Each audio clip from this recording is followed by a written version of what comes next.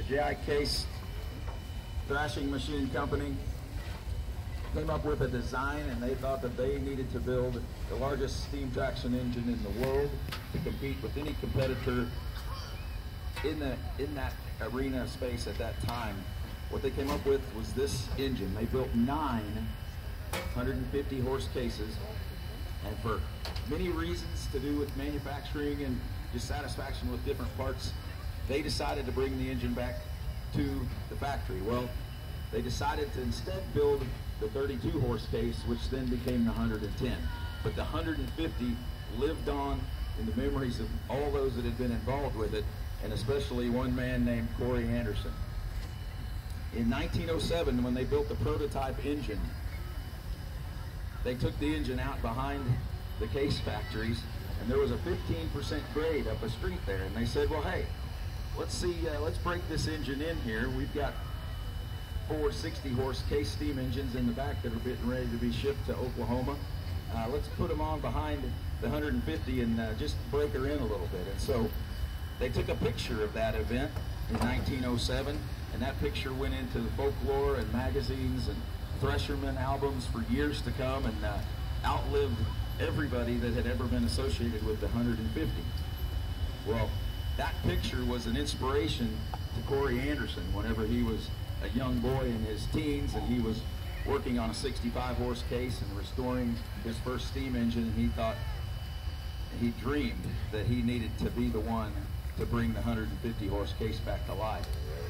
And so over the course of the next 15 years of his life, he dreamed, he had a vision, he put it, executed a plan, he uh, became a pattern maker, he was a master machinist, and he single-handedly, with, with the help of, of many friends, uh, put together this engine uh, from nothing.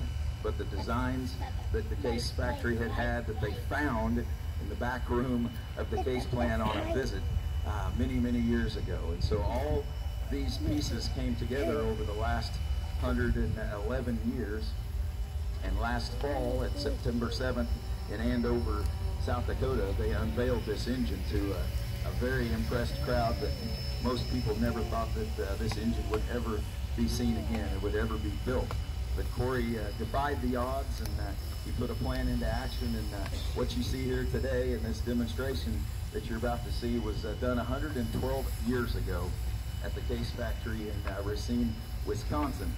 So I believe I just heard the pop go off just a little bit ago, so she's sitting at 175 pounds.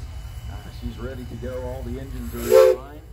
Um, they're going to come up this hillside and make this turn up here and uh, recreate this act. So get your cameras ready.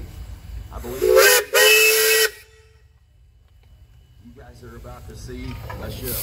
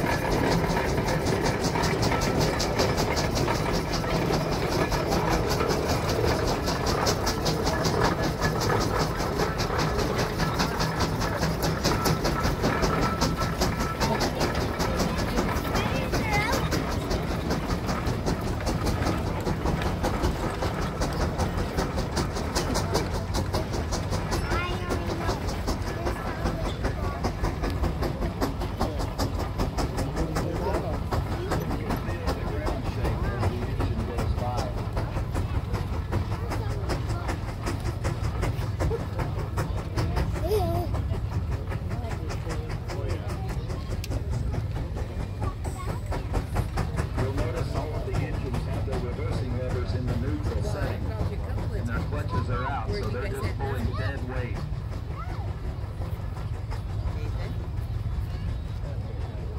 I think we need to do a couple more hot laps, Kory.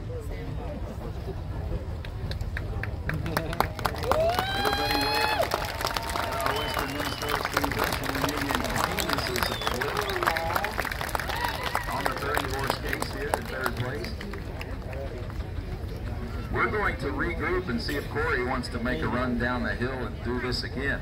But ladies and gentlemen, thank you for being a part of uh, Western Minnesota Steam Threshers Reunion, the 2019 J.I. Case Heritage Foundation Expo.